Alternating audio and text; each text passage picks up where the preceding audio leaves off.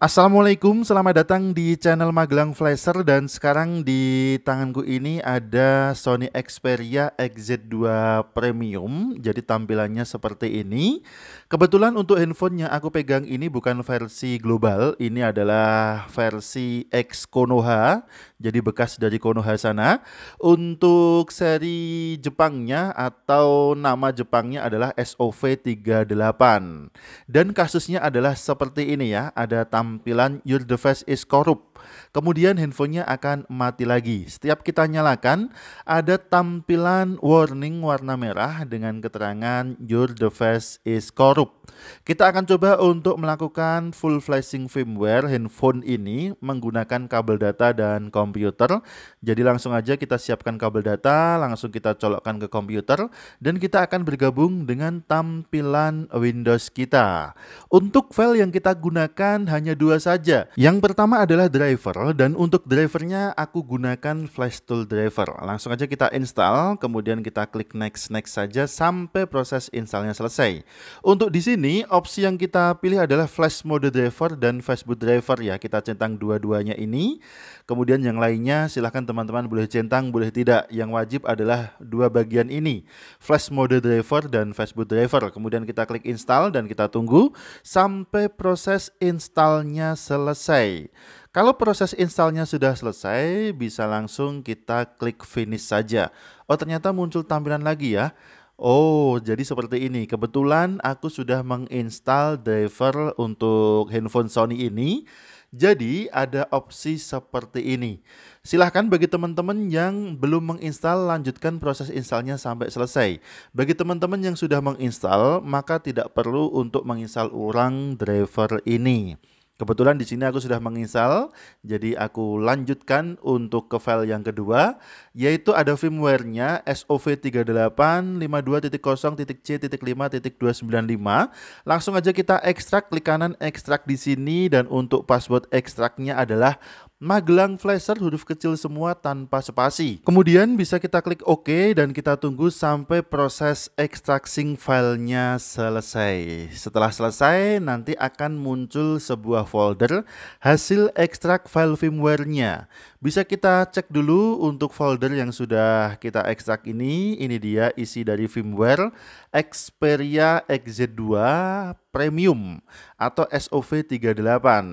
Kita akan flashing handphone ini menggunakan firmware tersebut. Oke, sekarang kita hubungkan handphone ke komputer dengan cara tekan dan tahan tombol volume bawah, kemudian sambil menekan tombol volume bawah kita hubungkan handphone ke komputer menggunakan kabel data sampai warna LED indikatornya dari warna merah berubah menjadi warna hijau. Berarti handphone sudah berada dalam posisi flash mode. Apabila posisi handphone kita dalam kondisi bootloop, handphone tidak mati, tapi masih menyala di posisi logo, maka teman-teman bisa hubungkan dulu handphone ke komputer menggunakan kabel data, kemudian matikan paksa dengan menekan dan menahan tombol volume atas dan tombol power. Setelah handphone mati dengan cepat, teman-teman bisa menekan tombol volume bawah, maka handphone akan otomatis masuk ke flash mode dengan LED indikator warna hijau. Kemudian di dalam folder firmware yang sudah kita ekstrak tadi kita cari file dengan nama newflasher.exe atau New Flasher X. Ini dia dengan logo hitam putih. Kita bisa jalankan file New Flasher X ini dengan cara kita double klik sampai toolnya berjalan. Untuk tampilan toolnya adalah command prompt seperti ini. Kemudian tinggal kita baca aja perintahnya. Di sini bisa kita ketikkan huruf N aja, kemudian tekan enter. Kemudian kita ketikkan lagi huruf N, kemudian tekan enter. Ketikkan lagi huruf N, kemudian kita tekan enter. Pokoknya yang kita pilih adalah N semua. Jadi semua konfirmasi untuk opsi flashnya kita pilih huruf N. Apabila di tengah perjalanan muncul lagi konfirmasi, silahkan teman-teman bisa pilih N saja dan tekan Enter. Selanjutnya tinggal kita tunggu aja sampai proses flashingnya selesai. Untuk durasi flashingnya ini tidak membutuhkan waktu yang lama.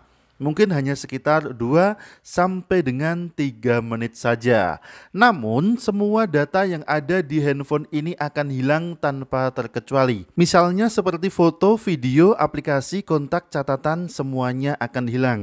Untuk proses flashing full firmware seperti ini, biasanya bisa untuk mengatasi hampir semua kasus error software, kecuali akun Google. Karena walaupun sudah kita full flashing, akun Google tetap minta verifikasi saat kita lakukan setup nanti. Agar handphone bisa kita setup sampai ke tampilan menu, teman-teman harus ingat akun Google-nya atau bisa ingat kunci layarnya antara dua opsi itu. Untuk firmware yang aku gunakan ini adalah versi originalnya untuk seri Sony Xperia SOV38. Bagi teman-teman yang sudah mendaftarkan emailnya untuk mendapatkan sinyal tidak perlu khawatir karena memang sinyalnya tidak akan hilang sekalipun kita flashing ulang ke firmware-nya. Dengan catatan yang didaftarkan adalah email handphone ini. Oke, sekarang untuk proses flashingnya sudah sudah selesai, perhatikan ada tampilan seperti ini, press indicate to continue dan kita akan coba cek dulu ke handphonenya. Kita bisa lepaskan dulu kabel data sebelum kita nyalakan handphone ini. Kemudian untuk menyalakan handphonenya kita bisa tekan tombol power, tekan dan tahan aja sampai muncul logo di layarnya. Kita tunggu sebentar. Ini handphone masih dalam posisi flash mode dengan indikator warna hijau atau lampu LED warna hijau. Kita coba tekan dan tahan tombol powernya dan kita tunggu sebentar sampai muncul logo Sony di layarnya. Perhatikan, sudah tidak ada tampilan error lagi yang artinya proses flashingnya sudah selesai berhasil. Kita tinggal tunggu aja sampai loadingnya selesai. Untuk loading ini biasanya lebih lama daripada proses flashingnya. Jadi teman-teman harap bersabar, tunggu aja proses loadingnya sampai dengan selesai. Apabila kondisi baterainya kritis di bawah 10%, silahkan teman-teman kembali menghubungkan handphone ini ke komputer menggunakan kabel data agar handphone dalam posisi charging mode. Sehingga pada proses loading seperti ini handphone tidak kehabisan baterai. Kemudian apabila kita tidak tahu kondisi baterainya, lebih baik untuk jaga-jaga kita hubungkan aja handphone ke komputer menggunakan kabel data.